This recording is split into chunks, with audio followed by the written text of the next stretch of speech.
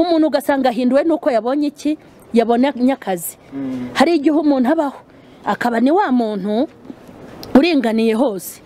Kuva hano ku mutwe aringaniye kugeza ku birenge. Imana yakomekaho ukuboko. Nk'uko mfite urabona kuno kuboko bakwita mama pasiteri yego mama pasiteri cyangwa ibishima yesu. None ufite mama pasiteri niko kwitwa niko kwitwa kuno kuboko. Imana igakubitaho mama pasiteri ejo bundi igakubitaho amatama. Nkanjye asigaye mfite. Ejo bundi ikamanuka hose ikagenda yongeraho. Hose ikamanuka ikageza ku birenge. Nyamara akiri muri bya bihe byo kunanuka akimeze nk'ihene yurira igitovu akimeze nk'ugenda hari umuntu ugenda ukagira ngo ari kuza nanjye niko kera nari imeze imana yamuteraho iroti amagufwa itangiye kuyagabanya yamuteraho iroti agatangira guhindurwa n'ibihe? Akiga ingendo. Uko yagendaga ari muto akabihindura akiga kugenda akiga kwirya no kwiryagagura. Nkwibutse ko abo batari barabutswe ibintu bazakora. Kuko mu bintu yababwiye yarababwiye ngo mujyane ubutumwa ngo mugere ku mpera y'isi. Ariko ntiyigeze babwira ngo bazabakubita ibiboko ahubwo yaravuze ngo muzajye mutanga ngo hahirwe utanga imbabazi.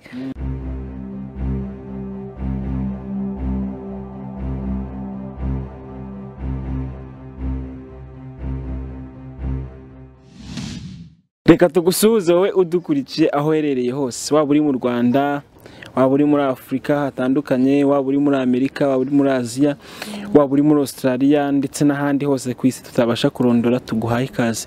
Iyi ni kwizera yesu tv rero ni sheni dushakiraho ijambo ry'imana ibiganiro byiza byubaka imitima ndetse binahembura umuntu. Umuntu turi kumwe rero uyu munsi ntabwo ari umushyitsi rwose ni umusangwa pe. Ariko ngo urugo rutakwisa umushyitsi ngo ngo hari igihe ngo biba bibaye kutakubaha cyangwa se bikaba kugusuzugura.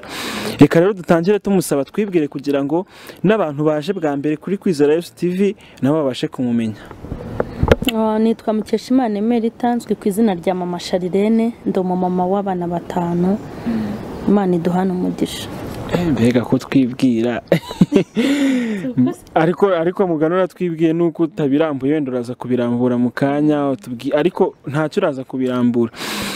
Rero turimo tubaha ikaze twasaba ngo umuntu utarakora sabusikarayibu kuri kwizera yesu tivi abashe kuyikora ariko tutirengagije ko na mama sharirene turi kumwe nawe afite sheni y'ivugabutumwa ikomeye cyane yitwa mama sharirene ofisho mama sharirene gira ikintu mbere y'uko dutangira n'ikiganiro na teme turi buganireho gira ikintu ubwira abantu badukurikiye ubabwira kuri mama sharirene ofisho oke ikintu nshaka kubabwira abantu bajya bakurikirana kwizera yesu tivi naho mpakorera umurimo. Ndashaka kubwira abantu bo kuri kwizera yesu tivi ngo imana nibaho umugisha. Imana nibaho umugisha kubwo kunshyigikira no kumva hafi no kuntera inkunga inkunga mu buryo bw'ibitekerezo mu buryo bw'ibikorwa n'abantu bakomeje gukora sabusikarayibu kuri mama sharirene ofisho ntawabura kubasabira umugisha bari kumbwira ngo kuraje. Uruzi ukuntu ijambo ryiza ari muri umuna w'imana. Ijambo ryiza? Ijambo ryiza ni muri umuna w'imana. Iyo umuntu akubwira ati kuraje ibintu urimo ni sawa turagukurikirana. Kandi abizi ko abantu bo kuri kwizera yesu tivi nabo bankurikirana. Rero mbasabiye umugisha. Mbasabiye umugisha kandi ibyiza byose munsabira n'ibyo munyaturaho n'ibyo mukeneye ko bimbaho. Nanjye ndabasabiye ngo imana ibibakubire karindwi mirongo irindwi. Hanyuma ikindi nabasabira ni uko twazabana mu bwami. Nimba hari ikintu cyiza ni ukuzabona. Abantu mwagiranye ibihe byiza muri kumwe n'abakoze sabusikarayibu imana ibakubire karindwi. Oya n'abatarayikoze bose ubwo sabusikarayibu singahe ngo iki? N'abakoze sabusikarayibu singahe oya oya. Oya ibintu byinshi abantu bagukorera ni byinshi. Harimo n'abatayikora bagakora n'ibindi. Ariko no kuyikora se ubundi hari icyo bibatwara? Imana ibakubire karindwi. Nyine sabusikarayibu bakoze imana yikube karindwi. Ubwo sinzi sheni iri buyijya oke yesi mashariyeri arakoze cyane gusabira abantu umugisha ndetse no kubashimira. Ariko tunabibutsa rwose umuntu utarakora sabusikarayibu kuri kwizera yesu tivi no kuri mama mashariyeri na ofisho uwo muntu numva ari gucikwa. Harimo n'utayikora hari nu- hari n'ubona bayizikora wenda akanababara. Akumva abonye uburyo azigabanya Mm, ntabwo ari itegeko umuntu abikora kubera impamvu. Mm. Eh, ariko bantu kandi turabasabye rwose. impamvu. Mm, imana izamumugisha. Ese uyu munsi rero mu masharire ikintu nshaka ko tuganiraho ikintu nshaka ko ubwiraho abantu bakurikiye kwizera yesu tv mbo uko iminsi yagiye iza twenda twaba duhereye ku kuremwa kw'isi kugeza iki gihe. Hagenda habaho ibihe bitandukanye. Cyangwa se situwasiyo ku isi hagenda haza ibintu bitandukanye. Urumva uko imana irema isi byari bimeze siko bikimeze. Haba ku gihe cya burahamu ku gihe cya mose ku gihe cya ba batambyi bandi ku gihe cyo kuza kwa yesu kirisito mu gihe yari ari ku isi no mu gihe agiye no mu gihe kinwa no muri iki gihe turimo. Ni ibihe bitandukanye. Ariko iyo dusomye bibiliya mm, kondisiyo ishyiraho yo kwitwara mu bihe n'imwe. Mm, ni ugukizwa. No kudahinduka. Ikintu turi buganireho uyu munsi. Mm, ko ibihe bigenda bihinduka. Mm. umukristo we arakora iki noneho ngo ibihe ntibimuhindure? Ahubwo akaba ari we ubihindura wenda. Eh, kuko ibihe guhinduka birahinduka. Mwavutse? Mwa- mwa- uko mwavutse? Ntabwo ibishuko byari byinshi ariko byari bihari. Muri uru rubyiruko. Kuri twebwe urubyiruko rw'uyu munsi ibishuko byariyongereye. Mm, yewe no ku bana bacu biziyongera. Ariko bibiliya cyangwa imana idusaba kudahindurwa n'iki? N'ibihe. ndagira ngo uyu munsi tuze kuganira cyangwa tuze kutuganiriza ku bijyanye ni gute tutahindurwa n'ibihe? Ko n'umuririmbyi yabivuze na bibiliya ikabyandika ngo ibihe ntibikakumara imbaraga z'umutima. Ndabona uba wumva bibiliya ubwo wenda wasanga ugiye kubanza ku- kudusomera bibiliya ariko ni cyo kintu tuganiraho kandi ngira ngo insanganyamatsiko mm. Hari ikiri bufasha abantu? Urakoze cyane. Israheli ubu ndabona usigaye waraciye akenge cyane. Ubundi wari ubufite ariko buri kugenda bwikuba. Uri kugenda ubaza ibibazo by'abantu bakuru. Nanjye ndi mukuru. bavuga ko uri uruhinja sinzi aho babivana. No mu- mwuka ndabona ko uri kugenda utera imbere. Eh, u- urandebeye. Ntabwo nkurebeye nkurebeye mu byo uvuze. Yego. Yego. Mm.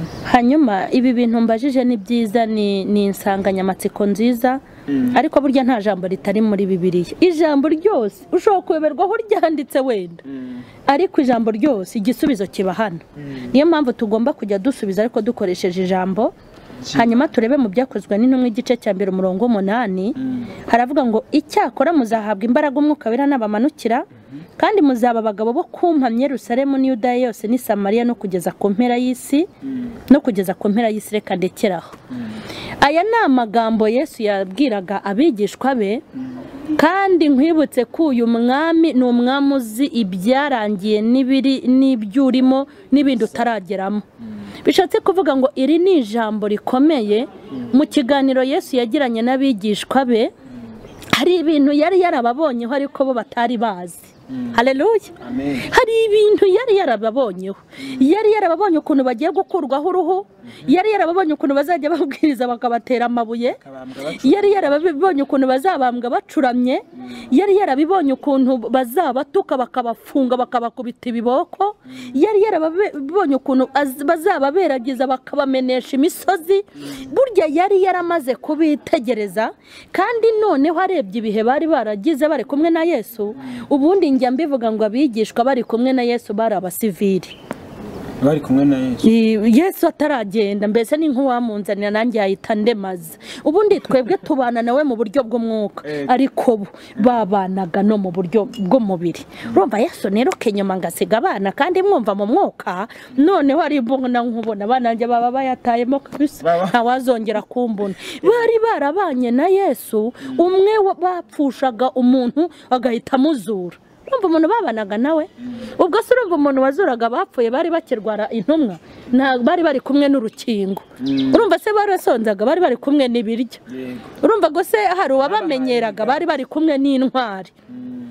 Utinye yuko babanaga n'umuntu ukora ku mpumyi zigahumuka baza ko kwibera maze uwo muntu haramutse abayeho ukavuga ngo ni mukuru wanjye cyangwa tu ni anko wanjye wabyirata ye. Uko biri kose bari baratese kubera yuko bibaniraga n'umukiza. Bibaniraga n'umuntu ufata ibuye rigahita rivamo umugati bibaniraga n'umuntu wafata inzoka igahita iba ifi bibaniraga n'umuntu wafata nyabarongo igahita ivamo akaji ko kwa nyirangarama. Ibaza umuntu bibaniraga bibaniraga n'ibinini bibaniraga n'urushinge bibaniraga ndagakunda kararyoha. Uri kumva? Bibaniraga n'urukingo bibaniraga n'urushinge bibaniraga n'amazi amara inyota bibaniraga n'umutsima utera imbaraga. bibaniraga na karuhura. Hareruya amen. Noneho kubera kubana nawe igisivire kira- kirabica kubera ko byose babyegekaga kuri yesu. Bajyaga kuryama se basenze kandi ubasengera ahari. Kuko hari n'igihe ngo yagiye gusenga ngo agarutse asanga buri wese ari guhirita barimo baragona. Ati yu! Kuko mbuze n'umwe twabana amaso nibura n'isaha imwe. Ariko harasinjya mbaveba nanjye rwose ndi nk'abo ntabwo nari gu- nari- nari gukanura ibiki. Nari gusinzira nkizigura nkavuga inti nza- nzayakanura warageje ubundi nugenda tuzisigarana. Hariya hantu ntabwo bakoze ikosa. Kuba barasinziriye bakagona yesu ahari bari bazi ko bazayakanura yarayisubiriye kwa papa we atuje kandi anatekanye. Yego hanyuma rero hamwe no kubana na yesu abateramo uwo mutima wo kwibebeza. Wo kwibebeza no kwitetesha. Ariko yesu hareruya Amen. aba araranganyamo amaso yari yamaze kubireba. Nkwibutse ko abo batari barabutswe ibintu bazakora? Rerwa kuko mu bintu yababwiye yarababwiye ngo mujyane ubutumwa ngo mugere ku mpera y'isi. Ariko ntiyigeze ababwira ngo bazabakubita ibiboko ahubwo yaravuze ngo muzajya mutanga ngo hahirwe utanga imbabazi Rero yesu ni umunyabwenge uteye ubwoba yababwiriragamo mu cyayenge. I- akavuga ngo hahirwa abagira imbabazi kuko yesu yari azi ko bazagwiza abanzi. Hahirwa abababarira hahirwa abahorwa ubutumwa bwiza Aba- ababwira gutyo ntiyaberurira. Ntabwo bari bazi ko bazatotezwa bigeze bigeze hariya hanyuma iri jambo niyo ntego rero wari umbwiye. Hanyuma ageze muri aya magambo arabavuga ngo icyakora. Icyakora? Hari ibyo yari arebye. Ni niyo mpamvu umukobwa ajya imbere y'imana akajya gusenga ngo arashaka umugabo. Ariko imana yamureba ikavuga iti singuha umugabo ahubwo ndabanza nguha imbaraga zo kumutunga. Akahava yinubye ati nyibwiye ngo mbese impesheri none irambwiye ngo ahubwo mwana wanjye ngo uhaye imbaraga. Agakambya impanga. Kandi imana yabirebye ko icyihutirwa si umugabo ahubwo irabanza ikumpera imbaraga zo kugira gute zo gutunga umugabo. Niyo mpamvu rero ibintu dusabye imana si byiduha. Hanyuma ngo yesu abararanganyamo amaso abona ibizababaho niko guterura ariya magambo. Aravuga ngo icyakora muzahabwa imbaraga. Ari uko umwuka wera nabamanukira. Reka mbabwire ahantu yababwiye. Ngo nabamanukira muzampamya i yerusalemu. Yego? Nabamanukira uwo mwuka muzampamya i yerusalemu. I yerusalemu ndashaka kuhagereranya n'ubuzima bw'ibibazo. Ariko byoroshye. I yerusalemu ibibazo bidafite icyo bitwaye. Intambara zoroshye. Muzampamya i yerusalemu aho ni hafi. I yerusalemu. Ariko yesu aravuga ati ni samariya muzajyayo. Nyamara byatangiye gukomera. Burya umuntu wariye rimwe ku munsi ntabwo ameze nk'uwariye gatatu ku munsi. Kandi uwariye rimwe ntameze nk'uwabwiriwe akaburara i yerusalemu ndahagereranya no mu bibazo byoroshye. I yerusalemu ahantu yari kubwiriza bari kubwiriza ivugabutumwa ryoroshye. Ahantu bari kubwiriza ivugabutumwa ridakakaye. Ariko yesu akubitaho akandi ati ni samariya. Byatangiye gukomera. Burya umuntu yaryaga gatatu ku munsi gatangira kuba kabiri atangira kuvuga ati iyi ni danje. Ejo bundi nzarya rimwe. Ntiwaryaga rimwe? Ati nyamara ndabona rimwe ryavaho nkabwirirwa nka burara i yerusalemu i samariya batangiye kwaguka. Bagiye kure yerusalemu. Nyamara byatangiye gukomera. Ubutumwa bwabakakaranye. Ariko arangije aravuga ngo ni yudaya ni yudaya. Yose. Uko biri kose ama- bamaze kwigira imbere. Bari kwaguka mu ivugabutumwa. Bari kugenda kure. Ariko ashyiraho irindi jambo. Aravuga ngo no ku mpera y'isi. Bishatse kuvuga ngo mu bibazo byoroshye mu bya muwayene no mu bikomeye cyane na bya bindi noneho birenze. Utabasha kwihanganira. Hose tugomba gukomera. Kudahindurwa n'ibihe. Abantu benshi buryo iyo ubitegereje usanga byarabahinduye. Rero? Hari igihe umuntu akizwa agakizwa ari ku ishuri. Agakizwa kumva ari gushaka diporome agakizwa si ugusenga akanayobora gurupe mu- ishuri agakizwa akaba umurokore. Kumbe arashaka n'ahantu azajya yihugika aha mu marirungu. Agakizwa agakizwa kumbe ari kwiga ku- kuri hatari. Kubona minerivare ni danje agakizwa akaza imbere y'imana akiga gusenga. Kumbe ari kuvuga ati imana mbu wa mbere mpereye inyuma ndakwinginze uzampe birote. Hanyuma guhindurwa n'ibihe. Yamara gutsinda yabona ya manota minerivare bikaba sawa ugasanga icyiciro cyo kuba wenda muri segonderi arakirangije akaba ageze muri kaminuza rimwe na rimwe akiga akora ya masengesho akayareka bya bihe yagiranaga n'imana akabiparika yikanze yuko ari kwiga akora ariko yibagiwe yuko ako kazi iyo ntebe batayimudodeyeho uko yayicayeho ariko yasohoka. Nyamuneka ahinduwe n'uko ageze muri kaminuza atacyaka imana minerivare ariko ubwenge bwe ni bukeya kuko nubwo akora ako kazi yirengagije ko ari imana yabigizemo uruhare kugira ngo akajyemo agahindurwa n'ibihe by'uko atangiye gukorera ye agahindurwa n'ibihe y'uko atagiteza ibi- ibiganza kuri mama we. Yabaye umuntu w'umugabo yateye intambwe nawe yabonye ikiraka yakuze. Ibyo bihe bikamuhindura. Hari abandi bahindurwa n'ibihe. Umuntu w'umushomeri ukabona ari bomba ari ku rusengero akaruhoramo bati dore ubu byutse reka sinakubwira. Korari ntimubure. Saa tatu akaba yateyemo. Ibyiciro byose by'umurimo w'imana ku rusengero akaba yabigiyemo. Ariko yabona akazi. Akibagirwa aho byaturutse. Kandi akibagirwa kuko akazi ukajyaho burya uko ukajyaho ni nako kavaho akibagirwa ko intebe yicayeho y'akazi hari undi wamubanjirije wari uyicayeho. Kuko njye nabonye umuntu uzaguma ku ntebe ibihe byose ni kirisitu. Abandi bazazivaho naho waba urinde uyihagurukaho. Ubu wasanga nanjye aha nicaye nzahahaguruka hicara abandi nicare ahandi cyangwa hicarwe n'abandi. Nta muntu uguma ku ngoma muri make. Yesu ni we wayitsindiye azayigumeho. Umuntu ugasanga ahinduwe n'uko yabonye iki? Yabonye akazi hari igihe umuntu abaho akaba ni wa muntu uringaniye hose. Kuva hano ku mutwe aringaniye kugeza ku birenge. Imana yakomekaho ukuboko. Nk'uko mfite. Urabona ko ni ukuboko bakwita mama pasiteri. Yego. Mama pasiteri cyangwa ibishima yesu. Noneho ufite mama pasiteri. Niko kwitwa niko kwitwa kuno kuboko. Imana igakubitaho mama pasiteri ejo bundi igakubitaho amatama nkanjye nsigaye mfite. Ejo bundi ikamanuka hose ikagenda yongeraho. Hose ikamanuka ikageza ku birenge. Nyamara akiri muri bya bihe byo kunanuka akimeze nk'ihene yurira igitovu akimeze nk'ugenda hari umuntu ugenda ukagira ngo ari kuza nanjye niko kera nari imeze imana yamuteraho iroti amagufwa itangiye kuyagabanya yamuteraho iroti agatangira guhindurwa n'ibihe akiga ingendo. Uko yagendaga ari muto akabihindura akiga kugenda akiga kwirya no kwiryagagura. Kandi imana uko iguteraho umubiri niko iwugukuraho kuko byose ifite ifite sitoke yabyo. Ari amagufwa igiraho iyabika ari n'umubiri igiraho iwubika umuntu agahindurwa n'ubunini imana yamuhaye umuntu agahindurwa n'icyubahiro. Ugasanga umuntu yacaga bugufi aganira n'umuhisi n'umugenzi umuntu wese uje muri saro ye amwakira ariko igihe cyagera kubera icyubahiro yageze yagize.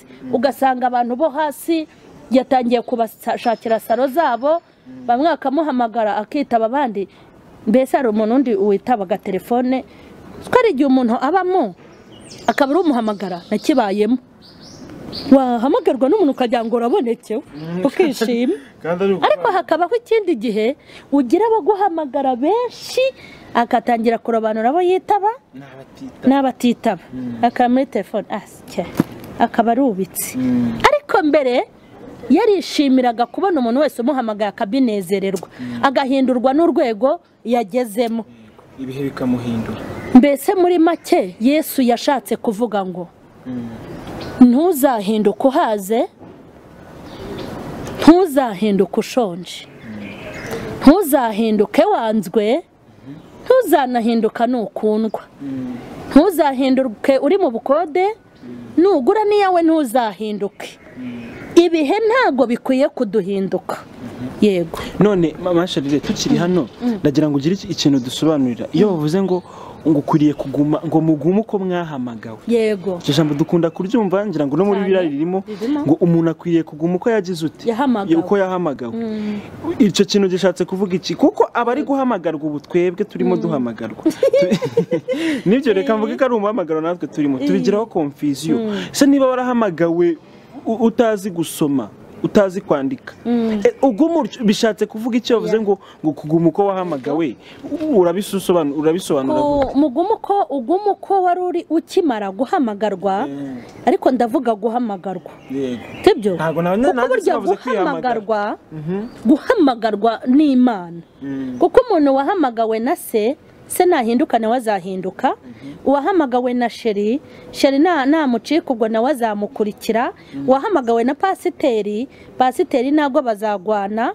Uwahamagawe uwihamagaye ubwo ibihe nibimuhinduka nawe azahinduka tuvuze ku muntu wahamagawe n'imana. Kubera iki iryo jambo rikoreshwa? Ubundi iyo imana iguhamagaye hari umuriro uba ukurimo. W'imana. Uba ufite ishyaka uba ufite umwete nkubwire hari abantu bahamagawe bumva yuko n'isi batazayikorera. Bazakomeza gukorera iki? Bazakomeza gukorera ijuru ryonyine. Uri kumva? Bitewe n'umuriro wo kuzinukwa isi bari bafite. Hari n'abandi bantu bahamagawe baravuga bati sinzashaka n'umugore.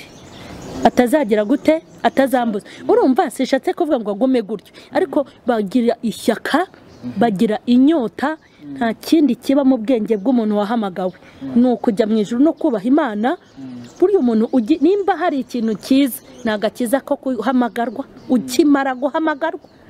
Ukimara guhamagarwa hagira umuntu ukubwira nabi ugahita wibomba ariko uti Yesu ari buze none ahantu apfa?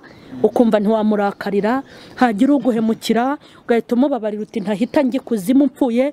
Umuntu uhamagarwa hari imbaraga zidasanzwe kuko aba afite ishyaka n'umwete aba ataravangirwa. Kuko iyo bigezemo hagati agahura n'abanajyuha. Agahura n'ababingu n'abanika. agahura n'abakoboyi bo mu rusengero agahura na za shamyaka zisaziye ubusa agacakirana nabo bagenda bamugabanya kuri wa muhamagaro. ariko wasabwa gukomeza kuguma yego nyine ni cyo nashakaga kuvuga. Eh. ubwo rero impamvu habaho kondisiyo ngo uko wahamagawe nuko niko kwiza ni uko imana iyo ijya kukwihamagarira ntabwo ijya ikoresha imbaraga z'abantu.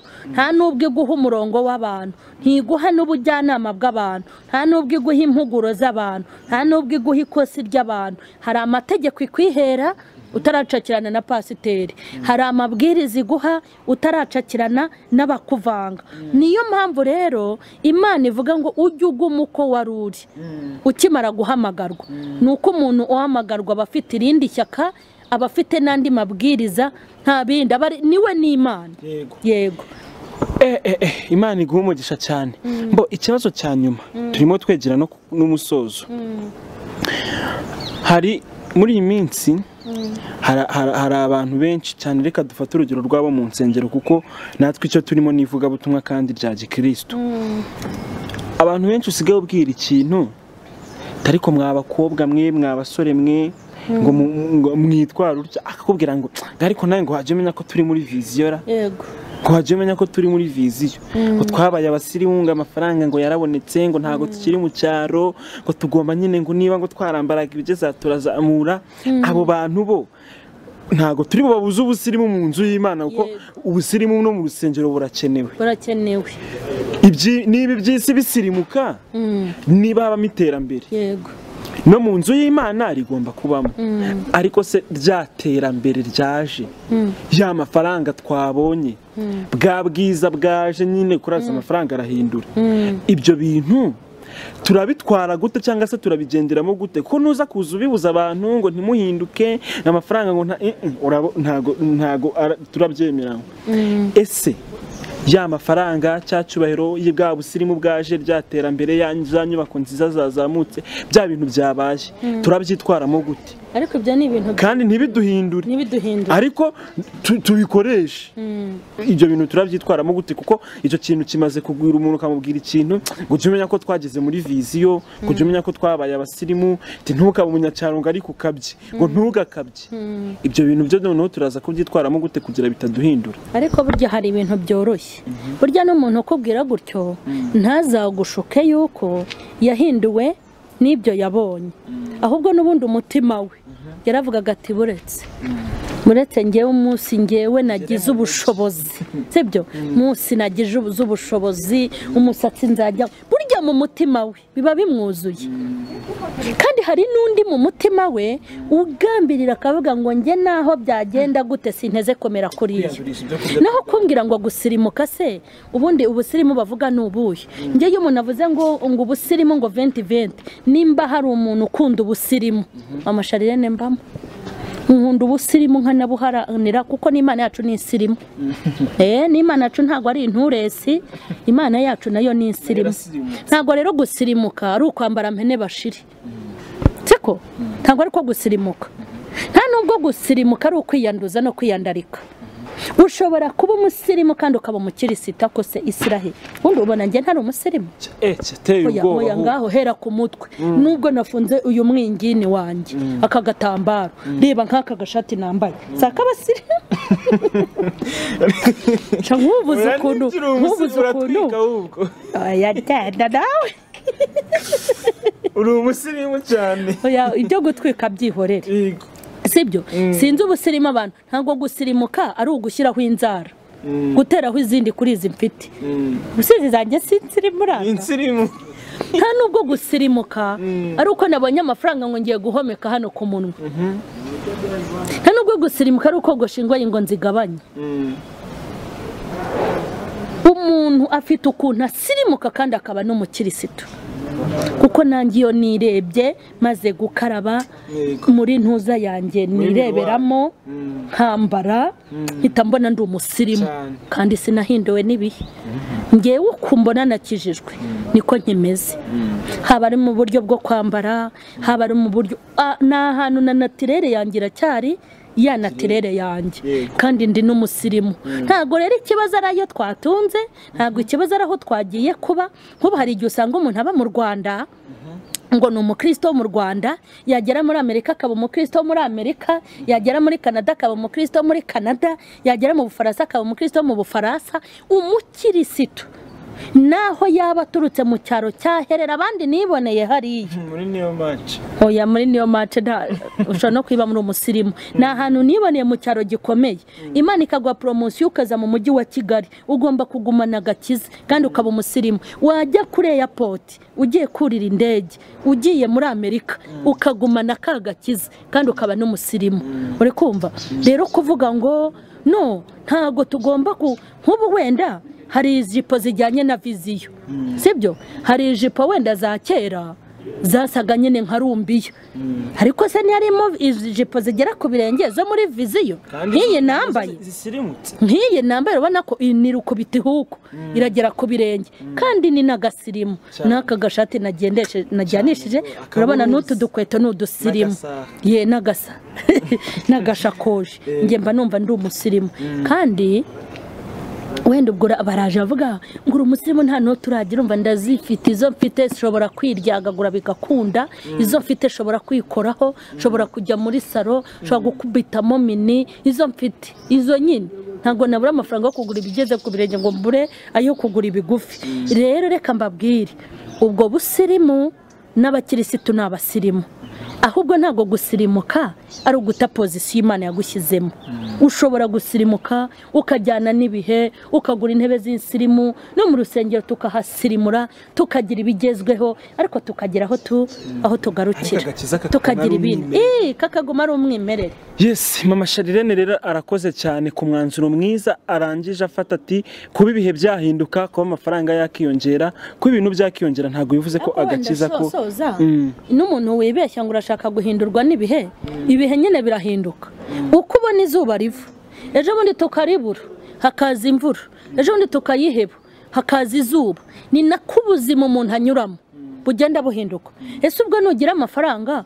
Uzagenda ukubite wambare ibigeze wambare ibigufiya utangire wi- wifate nabi. Hanyuma niwongera gukena wongere wambare ibirebire ako kajagari wakavamo. Ahubwo ushobora kuba umuntu natirere urumva ntuhindurwe n'ibyo bihe haza ibihe by'inote ukamenya kubibamo uri umukirisitu haza n'ibihe byo kuzibura ukabibamo byose uri umukirisitu. Ntabwo ibihe bigomba kuduhindura. Nitwe dukwiye kubihindura ahubwo birebye nabi. Yesi imana iguha umugisha cyane. Rero mama sharire ndagira ngo dusoze usenga usengera abantu bumvishe Bahinduwe n'ibihe. Unasabira n'abo bitarahindura bigiye guhindura nyaboneka nibakomere. Yego rwose ubasengera numara gusenga.